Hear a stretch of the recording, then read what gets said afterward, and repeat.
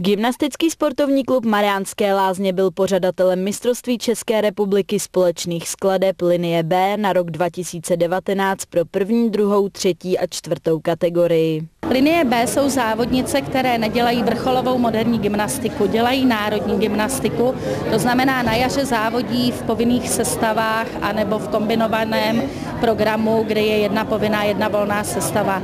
Nejsou to děti, které by vyjížděly za hranice České republiky.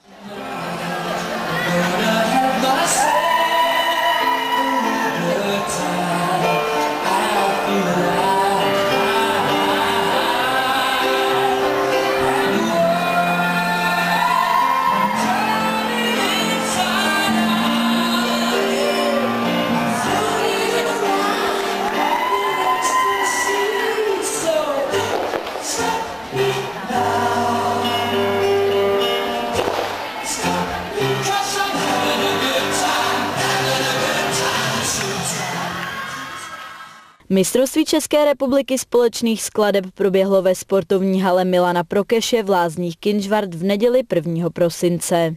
O pořadatelství si kluby žádají Český svaz moderní gymnastiky a protože tady máme takhle krásnou sportovní halu, tak jsem zažádala loni o pořadatelství a bylo nám přiděleno přímo Českým svazem moderní gymnastiky.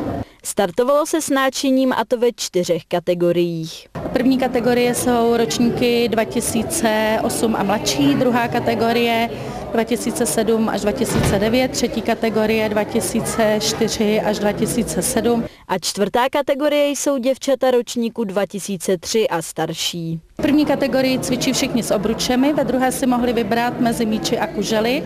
Třetí kategorie má předepsaná švihadla a čtvrtá kategorie stuhy a míče. Zajímalo nás, odkud gymnastky do Lázní Kinžvart přijeli. Kromě východních Čech jsou tady z úplně celé České republiky, to znamená Čechy, Morava.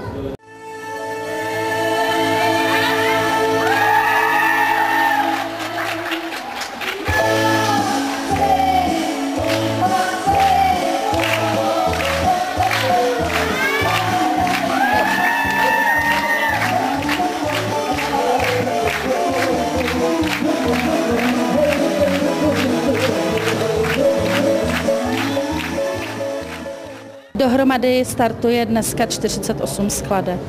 V době našeho natáčení byly závody přesně v polovině a tak nás zajímalo, jak si zatím vedou gymnastky z GSK Mariánské lázně. Na to, že jsme vlastně celou sezónu měli smolnou, tak jsem šťastná, že jsme nebyli poslední. Takže v, v první kategorii jsme byli 12. a ve, ve druhé kategorii jsme byli desáté.